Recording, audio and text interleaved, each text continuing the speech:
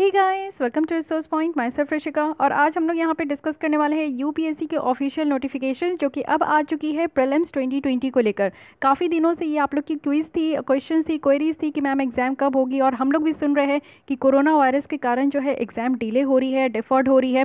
लेकिन यहाँ पर बात क्या की गई है? डिफर्ड की बात की गई है। बताया जा रहा था कि थर्ड ऑफ़ मे को यहाँ पर ऑफिशियल नोटिफिकेशन आने वाली है यूपीएससी की तरफ़ से तो वो आज आ चुकी है।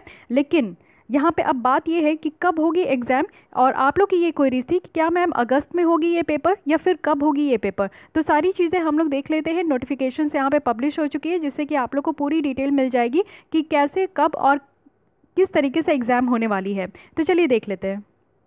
तो यहाँ पे आपकी जो है यूपीएससी की तरफ़ से ये प्रेस रिलीज़ की गई है। आज की डेट में जो फोर्थ ऑफ़ मई 2020 थी। हालाँकि कल से आप लोग जो है काफ़ी ज़्यादा वरी थे क्योंकि थर्ड ऑफ़ मई को कहा गया था कि यूपीएससी बताने वाली कि नेक्स्ट एग्ज़ाम कब होगी। इसका जो डेट पोस्टपोन किया गया है, वो डेट कब होगी। लेकिन इसमें भी जो आपका रिज़ल्ट निकल कर आया है, ये पूरी आप पढ़ोगे तो यहाँ पर बताया जा रहा है कि थर्ड ऑफ़ मई को यहाँ पर आप हमारी जो है यू पी होने वाली थी, लेकिन इसको अब डिफॉर्ड कर दिया गया यानी कि अभी इसको पोस्टपोन कर दिया गया लेकिन नेक्स्ट डेट अभी तक रिलीज़ नहीं करी गई है। नेक्स्ट डेट कब रिलीज़ किया जाएगा? तो next date twenty of May 2020 के बाद ही यहाँ पे रिलीज़ की जाएगी। और यहाँ पर जो भी प्रेलिम्स की आपकी एग्ज़ाम होने वाली थी और जो इंटरव्यू पोस्टपोन्ड हो गए थे, उसको भी अभी जो है बताया नहीं जा रहा है कि किस डेट में होगा। ये ट्वेंटी मे जब हमारी सेवनटीन ऑफ़ मे को यहाँ पे सेवनटीन ऑफ़ मे को जब यहाँ पे हमारी थर्ड लॉकडाउन ख़त्म होगी, तभी उसके बाद यहाँ पे नोटिफिकेशन निकल कर आएगा यूपीएससी के द्वारा कि एग्ज़ाम कब होगी। तो अभी ये भी नहीं पता चल रहा है कि डेट कब होगी, लेकिन मैं यही कहूँगी कि आप लोग अपने प्रिपरेशन पर जुड़े रहिए। ऐसा बिल्कुल भी नहीं है कि यहाँ पर आपकी एग्ज़ाम अगस्त में होगी सेप्टेम्बर में होगी, इस तरीके का जो र्यूमर है ना, इससे आप लोग दूर रहिए। क्योंकि हो भी सकता है कि जून में एग्ज़ाम हो सकती है, क्योंकि यहाँ पर कुछ भी नहीं कहा जा रहा है यूपीएससी की तरफ़ से। और जैसे ही सारी चीज़ें थोड़ी नॉर्मलाइज़ होगी, ये कोरोना वायरस के कारण जो भी अभी प्रॉब्लम है, जब ये सिचुएशन सिचुएशन नॉर्मलाइज होगी तो यूपीएससी बहुत ही जल्द एग्ज़ाम ले लेगी। क्योंकि इनको इंटरव्यू भी कंडक्ट करानी है, जो कि प्रीवियस ईयर की थी, और साथ ही साथ अभी की प्रिलिम्स भी लेनी है।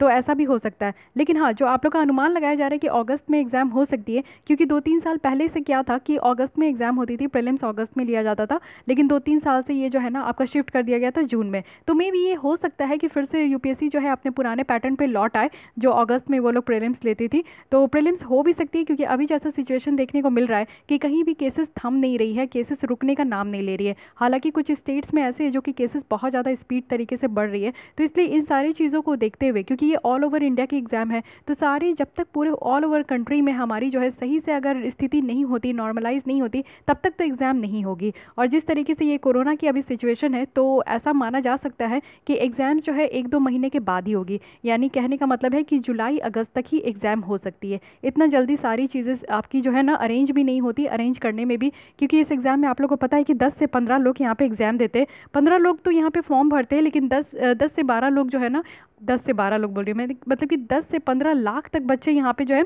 फॉर्म फिलअप करते हैं। लेकिन ऑन एन एवरेज देखा गया है कि दस लाख तक बच्चे जो है ना एग्ज़ाम में अपियर होते ही है। तो इतने मास नंबर पे आपका सिटिंग अरेंजमेंट सारी जितने भी सेंटर्स वगैरह है, वो सब अरेंज करने में टाइम लगता है और सब कुछ यहाँ पर देखते हुए ही यहाँ पर काम किया जाएगा। सोशल डिस्टेंसिंग का ख्याल रखा जाएगा। लेकिन इतने मास नंबर पर बच्चों को एग्ज़ाम दिलानी है तो इसका भी ख्याल रखा जाएगा ओके तो ऑन एन एवरेज मैं यही कहूँगी कि आप लोग ये र्यूमर से दूर रहिए, क्योंकि आए दिन आप लोग की इतनी मेल्स आती है, इतने मैसेजेस आते हैं कि मैम एग्ज़ाम कब होने वाली, आप कुछ क्यों नहीं कह रहे हो? तो मैं अब तक जो है यूपीएससी की ऑफिशियल वेबसाइट की ही इंतज़ार कर रही थी कि ऑफिशियल नोटिफिकेशन ही इनकी मैटर रखती है।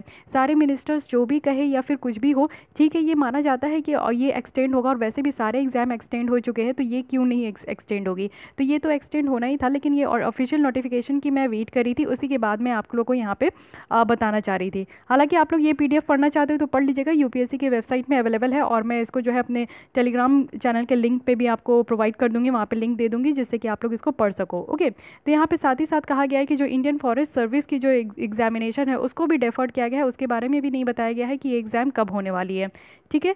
तो ये ऑन एन एवरेज आप लोग देख सकते हो कि इतने सारे आपकी जो इस कमीशन के तहत ये भी बताया गया है कि और भी नोटिफिकेशन है सेंट्रल आर्म पुलिस फोर्सेस की एग्जामिनेशन की, ये भी नोटिफिकेशन अभी नहीं दी गई है। साथ ही साथ यहाँ पे आपका जो एनडीए और नेवल एकेडमी एग्जामिनेशन है, इसकी भी नोटिफिकेशन नहीं दी गई है। साथ ही यहाँ पे आपका नोटिफिकेशन है इंडियन इकोनॉमिक सर्विस और इंडियन स्टैटिस्टिक सर्विस एग्जामिनेशन ये सारी नोटिफिकेशन यूपीएससी की तरफ़ से आने वाले हैं, लेकिन ये सारी कुछ डिले हो रही है जस्ट बिकॉज़ ये कोरोना वायरस के कारण ओके तो आई होप कि आप लोग की जितनी भी क्वेरीज है, वो यहाँ पर क्लियर हो गई हो, और आप लोग को जिस तरीके का भी हेल्प चाहिए, मुझसे से आप लोग कह सकते हो। बाकी अगर आप लोग मेरे चैनल पर न्यू विज़िट कर रहे हो तो मैं एक बार रिक्वेस्ट करूँगी कि आप मेरे चैनल को सब्सक्राइब करो। प्ले में आकर आप लोग देख सकते हो। आप लोग को करंट अफेयर्स की पूरे बंचेज यहाँ पर मिल सकती है।